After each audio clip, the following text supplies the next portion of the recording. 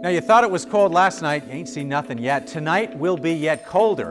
And you're thinking, hey, this is March, soon to be April, when's it gonna feel spring-like? Well, there is some more spring-like weather in the seven day. I'll explain at five.